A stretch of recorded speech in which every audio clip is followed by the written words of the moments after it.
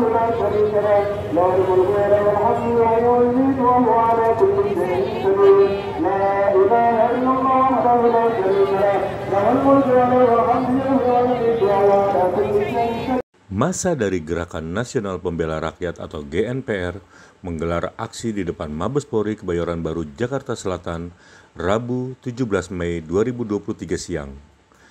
Aksi tersebut digelar untuk memprotes keadilan soal kasus KM50. Pantauan wartakotalive.com di lokasi pukul 14.00 masa yang hadir diperkirakan ada sebanyak 50 orang lebih. Mereka mengenakan pakaian berwarna putih dengan membawa sejumlah poster berbeda tulisan. Ada yang membawa poster Tegakkan Keadilan Usut Tuntas KM50. Tangkap aktor utama di balik tragedi berdarah KM50. Lalu, ada juga yang membawa poster Rakyat bukan untuk ditindas dan dibunuh.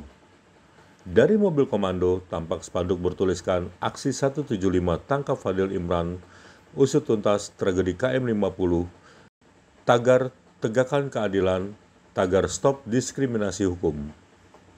Terdengar pula kumandang solawat Nabi dari mobil komando. Sementara itu, arus lalu lintas terlihat sedikit tersendat lantaran ada aksi itu.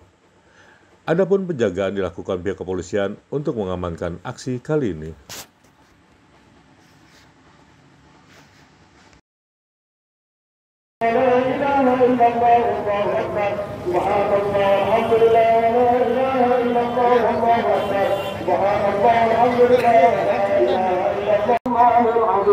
ربنا اغفر لنا وتب علينا إنك أنت التواب الرحيم. ربنا اغفر لنا وتب علينا إنك أنت التواب الرحيم.